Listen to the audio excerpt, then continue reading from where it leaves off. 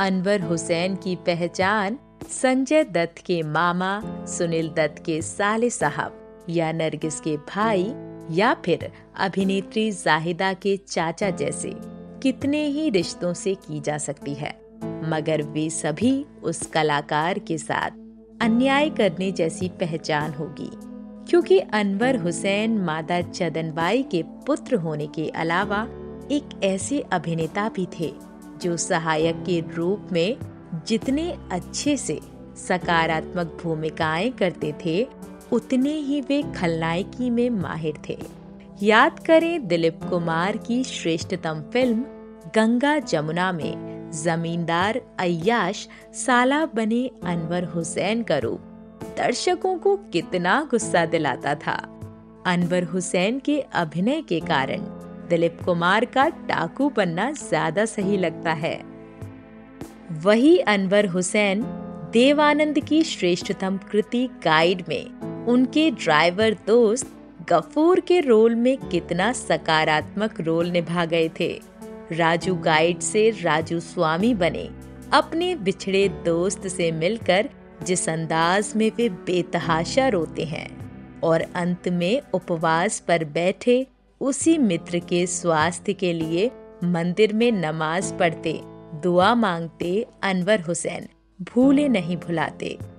उन्हीं अनवर को राजेश खन्ना की एक बेहतरीन फ़िल्म, बहारों के सपने में आशा पारिक के साथ चुनरी संभाल गोरी उड़ी चली जाए रे। गाते देखो तो अपनी बीवी से छुपकर नियमित शराब पीने वाले एक मौजिले पात्र में भी वो उतने ही जचते थे। मगर अनवर हुसैन हमेशा से चरित्र अभिनेता कहा थे? अन्य चरित्र अभिनेताओं की तरह वे भी कभी हीरो थे। उन्हें चांस भी दिया था ए आर कारदार जैसे बड़े निर्माता ने संजोग में। उन दिनों अनवर ऑल इंडिया रेडियो में बतौर उद्घोषक काम करते थे। उनकी आवाज़ का दम देखकर सॉरी सुनकर कारदार साहब ने अनवर को संजोग का हीरो बनाया, परंतु सिनेमा का पर्दा अनवर के लिए नया नहीं था। वे बाल कलाकार के रूप में माता जदनबाई के कारण कुछ फ़िल्मों में आ चुके थे। संजोग उपरांत भी दो तीन फ़िल्में बतौर नायक आई ज़रूर, मगर हीरो बनने के लिए चेहरा और विशेष तो टिकट खिड़की पर तकदीर भी तो होनी चाहिए। अनवर हुसैन के पास उस समय दोनों नहीं थे, जिसका सबूत रंग महल नामक फ़िल्म थी।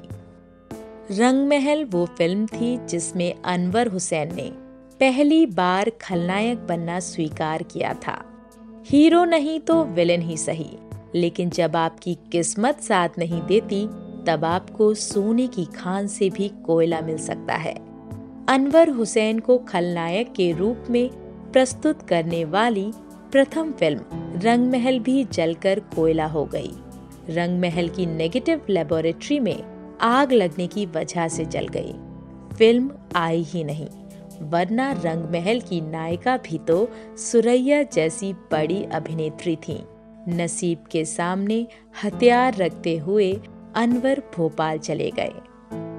भोपाल में उन्होंने घी का व्यापार करना प्रारंभ किया, पर नसीब ने उसमें भी साथ नहीं दिया। उसे छोड़ कपड़े का व्यवसाय किया तो वहाँ भी घाटा आया।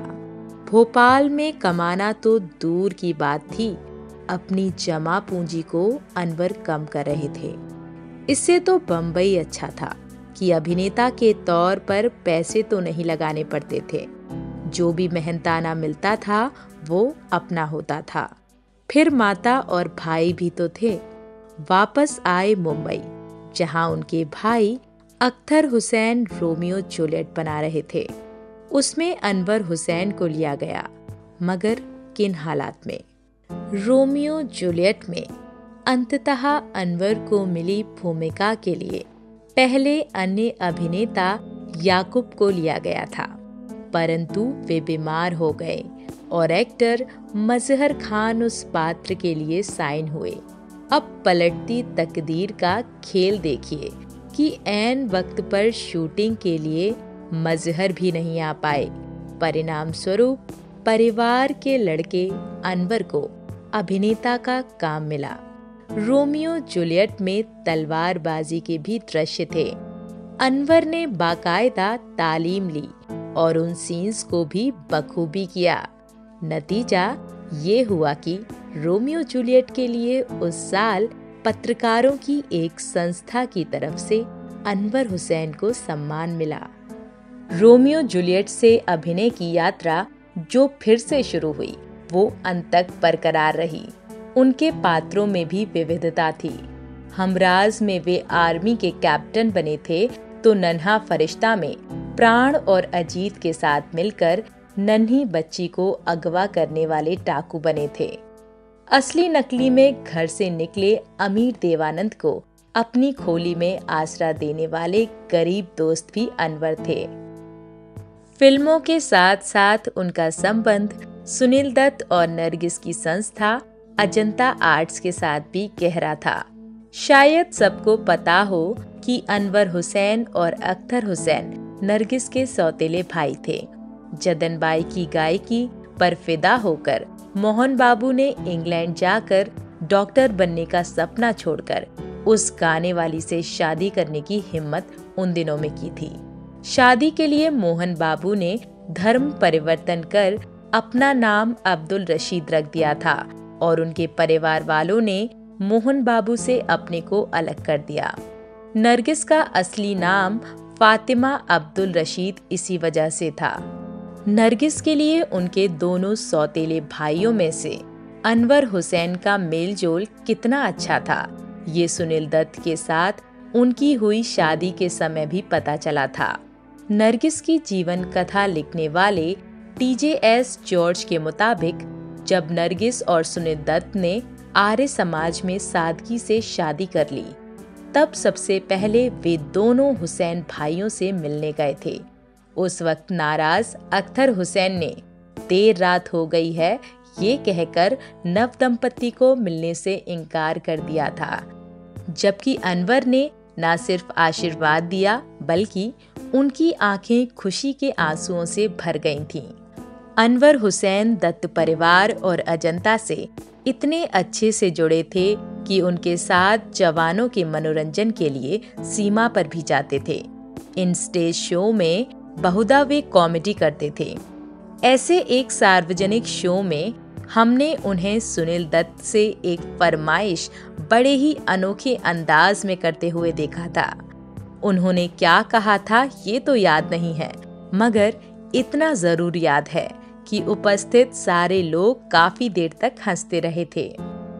उनके जवाब में सुनील दत्त ने भी उसी हँसी खुशी के माहौल को आगे बढ़ाते हुए कहा था, मैं कैसे इनकार कर सकता हूँ? एक तरफ़ चोरू का भाई, दूसरी तरफ़ सारी खुदाई। तभी चुटकी लेते हुए अनवर बोले, दत्त साहब, हमें तो बम्बई के रोड पर आए दिन होती खुदाई के अलावा कोई खुदाई दिखती ही नहीं। इतने हसमुख इंसान को व्यस्तता के उन दिनों में लकवा का हमला हो गया। अंतः 1988 की पहली जनवरी के दिन अनवर हुसैन का इंतकाल हो गया।